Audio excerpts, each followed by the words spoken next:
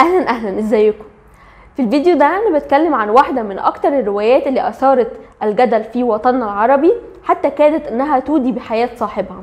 الرواية دي هي رواية أولاد حارتنا لنجيب محفوظ. كمان هيكون في كلام عن كتاب ذا صلة وهو كتاب سيرة الرواية المحرمة لمحمد شعيب. أنا مش شخص بيلتزم بخطط قرائية وأمشي عليها وأبقى ملتزمة بيها ولكن بتحصل صدف سعيدة جدا وكتب بنقراها صدفة عشان نكون محظوظين في مقابلة كتابنا المفضل الجديد. وأنا قاعدة مستنية دوري في تطعيم كورونا لقيت إنه أنا في طال الانتظار ودوري لسه بعيد فطلعت كندل ولقيت إن أنا عندي أولاد حارتنا فحبيت إن أنا أبتدي فيها أشوف ممكن يكون جوها عامل إزاي. عشان تكون أول رواية كبيرة ومشهورة أقراها لنجيب محفوظ من الأعمال اللي هي دايما بتتذكر الحرافيش الثلاثية ومعاهم أولاد حارتنا.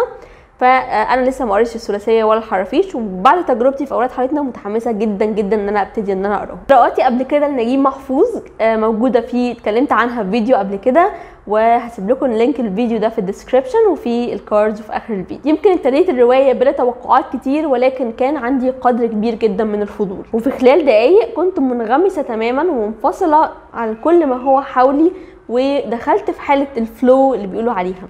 لحظة ال flow دي أو الانغماس والتدفق والإحساس إن أنت مش حاسس بالوقت وأنت بتمارس نشاط معين دي حاجة بتكون من أجل اللحظات بالنسبة لي وبحبها جدا وبحب أي حاجة ممكن تدخلني في الحالة دي. وكان الرواية دي عملت كده. فجأة لقيتني بخرج من جو المركز الطبي وبدخل في جو جميل جدا من أجواء البيت الكبير جدنا والإنسان الأول وهو أحلامه. في إن هو يبقى في حديقة غناء يستمتع بيها ويستمتع بالناي خلق جوايا حنين للحياة دي واللي هي أبعد ما تكون عن حياة الأحفاد دلوقتي. الأحفاد اللي اتطردوا من البيت الكبير وعشان يواجهوا الحياة الحقيقية بكل ما فيها من ظلم وفساد. فنعيش نشقى في التراب والطين ويعاودنا الحلم. خرجنا إلى الحارة حيث نلاقي الظلم وفساد الناظر وتجبر الفتوات. جميع أمور الحارة تجري بالإرهاب. وحارتنا لم تعرف يوما العدالة أو السلام. نعيش الأمل في العدالة والكرامة في لحظات يسيرة من عمر الزمن مع جبل ورفاعة وقاسم ثم ينتهي بنا الأمر لنفيق على دهور طويلة من الظلم والاستبداد وضربات النبوت. ألا تعلم ذلك يا جبلاوي؟ ثم عندما جاء عرفة ومات الجبلاوي ما الذي حدث؟ ذقنا ذات الظلم مرة أخرى ولكن بشكل جديد ومضاف إليه الخواء يا لنا من سجناء وأموات أبناء أموات ويا لها من رحلة شاقة وخاسرة كيف انتهى الأمر بحارتنا إلى هذا الحال؟ الرواية هي متوالية محكمة بتسرد لنا تاريخ الإنسانية وما تمر به وصراعها ضد الظلم ومن أجل العدالة والحق. فصول من القهر بنعيشها مع فصول من الرواية متجانسة ومنسجمة وكمان فيها قدر من الألفة في داخل حارة نجيب محفوظ. من عجب أهل حارتنا يضحكون على ما يضحكون إنهم يهتفون للمنتصر ايا كان المنتصر ويهللون للقوي ايا كان القوي ويسجدون أمام النبابيت يداوون بذلك كله الرعب الكامن في أعماقهم. غموس اللقمة في حارتنا الهوان لا يدري أحد متى يجيء دوره ليهوي النبوت على هامته. ما أن ينتصر العدل على الفتوات بعد سعي إلا وأن نجد بذرة جديدة للاستبداد موجودة لكي يستفيد المنتصرون الجدد. والله ما كرهتم الفتونة إلا لأنها كانت عليكم. وما أن يأنس أحدكم في نفسه قوة حتى يبادر إلى الظلم والعدوان. الرواية في قراءتي ليها فيها قدر سياسي كبير جدا. استخدم فيها رموز من تاريخ الإنسانية نزل بيهم إلى أرض واقعنا إلى أرض الحارة المصرية بفضائلها ورذائلها. الرواية بترسم عالم متصور لكي توحي بعالم آخر وواقع آخر. الرواية دي واللي كانت معلومة جديدة بالنسبة لي إنها جت بعد فترة طويلة جدا من الصمت النجيب محفوظ من بعد ثورة 52 وحتى تقريبا لمدة خمس سنين على الأقل لم يكتب كلمة واحدة. بعد نشر الثلاثية لم ينشر شيء حتى سنة 59 وكأنه وكما يرد في كتاب النص الغائب في أولاد حارتنا وعلى لسان نيتشه كل من قدر له أن يذيع شيئا جليلا في يوم من الأيام لابد أن يظل وقتا طويلا مطويا داخل صمته. وكل من قدر له أن يشعل البرق يوما ما لابد أن يظل سحابا لمدة طويلة. أنا حبيت الرواية دي جدا واستمتعت بيها. كنت خايفة في الأول إن هي تكون على قدر الضجة والجدل اللي حواليها.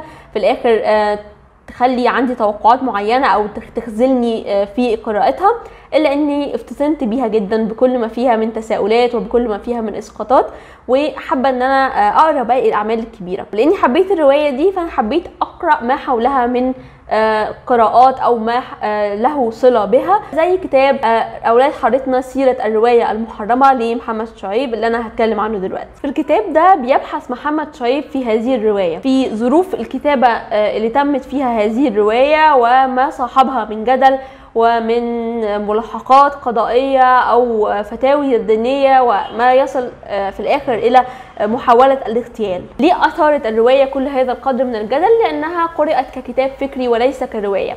الكتاب الفكري هو بتكون فيه حقائق وتكون فيه وجهة نظر معينة وفكر محدد وواضح بينما الرواية هي فن.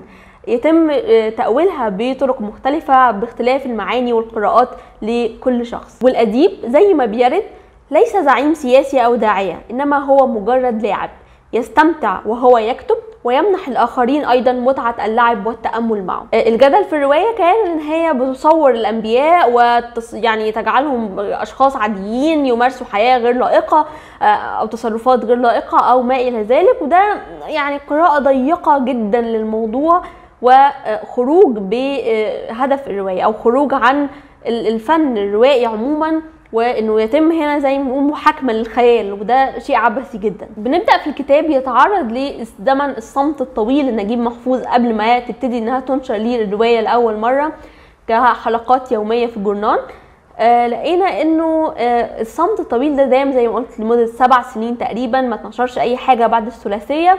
وخمس سنين لم يكتب كلمة واحدة. نشوف الآراء المتباينة أو وجهات النظر حوالين السبب الصمت ده. تباينت التكهنات بشأن ده وتباينت ردود نجيب محفوظ حوالين هذا الصمت. في رده ورد إنه عندما ذهب المجتمع القديم ذهبت معه كل رغبة في نفسي لنقده. وظننت أنني انتهيت ادبيا.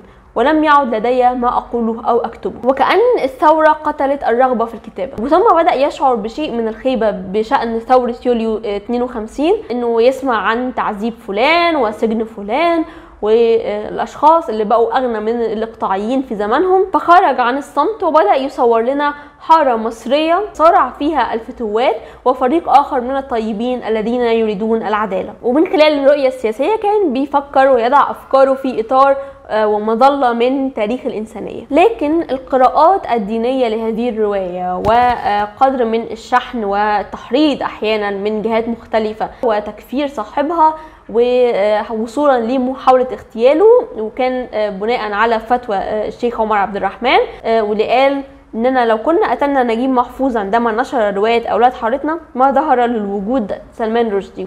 في الإشارة لسلمان رشدي وروايته اللي أثارت برضو جدل وهي رواية آيات شيطانية. بيعلق نجيب محفوظ على الأمر ده قائلا هؤلاء لا يقرؤون القصص الأدبية بعين أدبية أو إنسانية تريد أن تعرف الحقيقة وصراع الخير والشر. بيدافع عنها نجيب محفوظ بأنها رواية خيال فن وليست تأريخا للأديان. بنظل نعاني في وطننا العربي من القراءات الحرفية أو القراءات الضيقة شوية للروايات والتعامل مع الفن مما بينتج عنه بقى من تعريض أصحابها للخطر سواء في محاكمات سجون أو اغتيالات.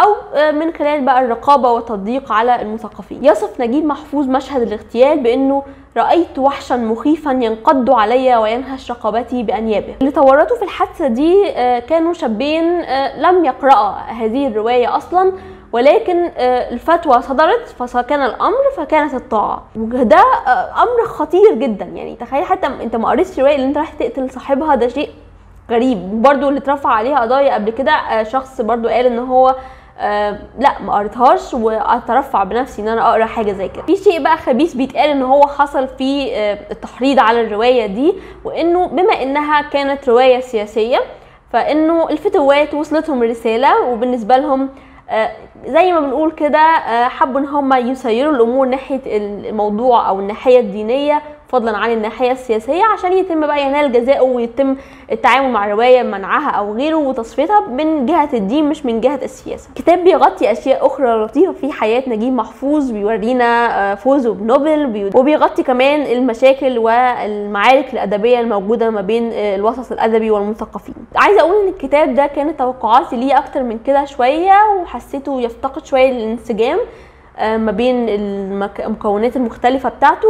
ولكن في النهاية هو ما كانش كتاب مزعج وكان قراءة لطيفة حوالين اللي كان بيحصل حوالين الرواية دي. أنا استمتعت بقراءة الرواية دي جدا وخلاص ازددت تشوق جدا إن أنا أقرأ الحرافيش والثلاثية وغيرها من أعمال نجيب محفوظ. ودي كانت قراءتي وأتمنى الفيديو يعجبكم. شكرا لكم على المشاهدة. شاركوني الأعمال اللي أنتم بتحبوها نجيب محفوظ وقراءاتكم وإزاي لو قريتوا أولاد حارتنا قولوا لي شفتوها إزاي.